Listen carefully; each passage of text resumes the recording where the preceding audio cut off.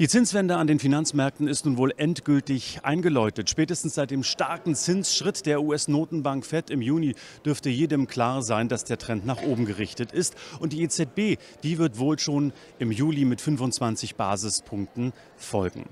Über die Reaktionen bei Anleihen und im Speziellen bei Unternehmensanleihen wollen wir jetzt sprechen mit Helge Müller. Er ist Gründer und Chief Investment Officer bei Geneve Invest. Schön, dass Sie da sind, hier auf dem Fondskongress in Mannheim, nach langer Zeit, Herr Müller. Wie hat sich denn der Kurswechsel der Notenbanken auf die Märkte im Allgemeinen und auf die Corporate Bonds im Speziellen ausgewirkt? Naja, wenn wir steigende Zinsen haben, muss man eben sehen, dass der Zins die Verbindung zwischen der Gegenwart und der Zukunft ist im Investmentbereich. Und das bedeutet eben, dass zukünftige Unternehmensgewinne höher abdiskontiert werden, um Unternehmen zu berechnen.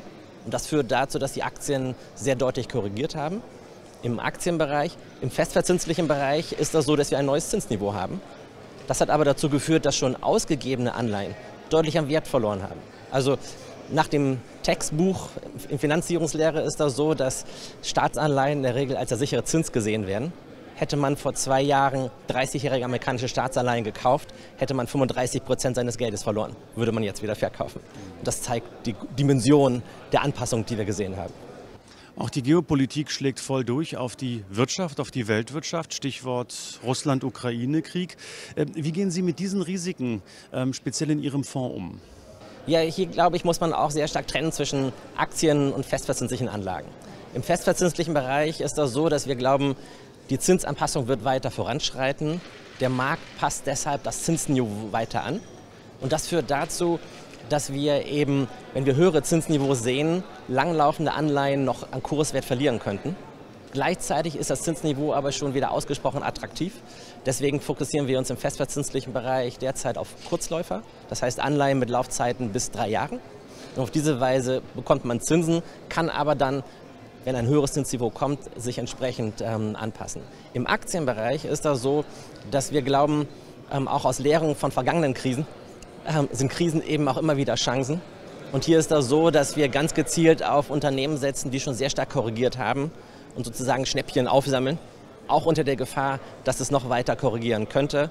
Aber wenn man gute Preise hat, wird sich das durchsetzen, Deswegen setzen wir hier eben schon auf die Schnäppchen und die Unternehmen, die sehr stark korrigiert haben. Die Frage ist ja auch, ob das Schlimmste schon hinter uns liegt. Das stellt man sich ja auch in Mannheim, diese Frage natürlich. Was glauben Sie? Also ist es dann so, dass man in der Tat so langsam wieder einsteigen kann?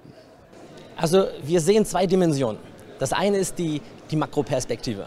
Und da ist das so, dass von den Sorgethemen von vor einem halben Jahr sich nichts verändert hat, sondern eigentlich hat sich alles verschlimmert. Mhm. Zinsen steigen deutlich mehr, als man erwartet hat. Und ein Ende ist derzeit nicht in Sicht.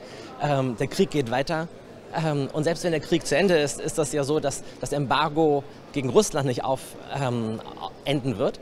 Und das führt natürlich dazu, dass dementsprechend auch die Knappheiten ähm, und die Preisniveaus im Rohstoffbereich sich weiterhin ähm, halten werden und verschlimmern könnten. Also insofern ist hier, sage ich mal, das, das Negativszenario nicht beendet und es ist durchaus mit weiteren Korrekturen zu rechnen. Aber es gibt auch die Mikroperspektive. Und die liest man nicht wirklich so in der Zeitung derzeit, weil dort ist alles sehr, wird alles sehr negativ gemalt. Aber wenn man mit den Unternehmen spricht, gerade in verschiedenen Nischenthemen, kriegen wir ein ganz anderes Feedback, nämlich die Unternehmen wachsen weiter. Sie sind gut positioniert und viele geben ihre, an ihren Prognosen, ähm, führen sie keine Änderungen durch. Das heißt, wir sehen einen deutlichen Wachstum in den nächsten, in den nächsten Jahren, ähm, gleichzeitig aber eine Preiskorrektur von teilweise über 50 Prozent. Und daraus ähm, sehen wir durchaus eben auch Chancenfelder, die man ergibt. Und das sind diese beiden Themen, die man aktuell sieht. Insofern lohnt es sich durchaus auch jetzt schon einzusteigen. Ja, und ich sehe auch den Optimismus förmlich in Ihrem Gesicht hier heute Morgen oder die Zuversicht zumindest.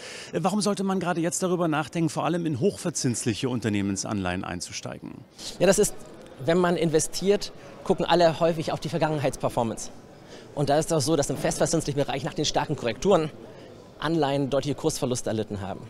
Der Punkt ist aber, was übersehen wird, ist ja, bei Unternehmensanleihen weiß ich ja, wie viel ich in der Zukunft bekomme. Es ist ja definiert. Ne, aus, aus Zins, aus Laufzeit ähm, und aus Kurs kann ich ja den, die Rendite berechnen. Und was wir sehen ist, solche Zinsniveau hat man nicht in 30 Jahren gesehen. Das heißt, die Zinsen sind noch gar nicht stark gestiegen, der EZB in, in Europa ja noch gar nicht. Aber der Markt antizipiert das. Das heißt, wir haben jetzt Zinsniveaus wie in den 90er Jahren und auf diese Weise kann man sich sehr attraktive Zinsniveaus ähm, sichern, die man seit Jahrzehnten nicht gesehen hat. Und das ist ausgesprochen attraktiv, weil wo die Märkte sich kurzfristig entwickeln im Aktienbereich, ist schwer vorherzusehen. Aber im Anleihebereich habe ich hier ein ganz klares Konzept von Laufzeiten und Renditen. Deswegen glauben wir, ist der Bereich ganz besonders attraktiv. Der Blick auf Anleihen im Allgemeinen und in dem Falle High Yield Bonds im Besonderen von und mit Helge Müller von Genève Invest hier auf dem Fondkongress in Mannheim. Herzlichen Dank und Ihnen erfolgreiche Gespräche hier. Dankeschön.